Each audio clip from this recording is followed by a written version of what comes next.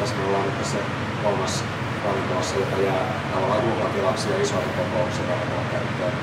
Täällä tämä henki tulee säilyä samana, että vaikka pinnat kunnostetaan, niin se paikan vielä ravintolan maisemaa korostetaan ja valaistaan metsää. Täällä ei tehdä suuria rakennustöitä, vaan otetaan pinnat kuntoon ja huolehditaan, että ihmisillä on hyvä henki. Sitten alakautta tulee tuohon, että se kokee vähän isomman muodonmuutoksen, mutta siellä on sama asia, että voi katsoa, että siellä on ja palikat säilyy.